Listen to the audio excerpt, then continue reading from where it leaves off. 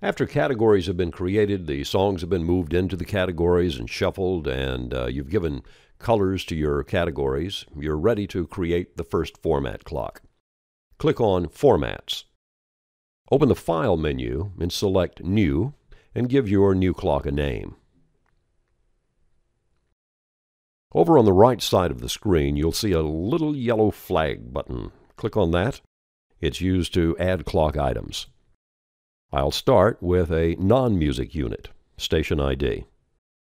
This is the only non-music category that I've created so far. In the future, I'll have categories for voice tracks, station promos, maybe some jingles, and some artist drops. Click the Music button and begin adding song categories. Double-click on a category name and it's added to the clock. Every time you double-click, the category is added to the clock. Also, when you select a category name, you can click the OK button, and that will add the category to the clock as well. These category slices are proportionately the size of the average length of the songs within the category. Notice the 70s category slices are a bit larger than the 60s hit category. That's because most songs were shorter in the 60s than they were in the 70s and in the 80s. When a clock is used to schedule, the slice size will always adjust to the size of the song that actually gets dropped into that slot.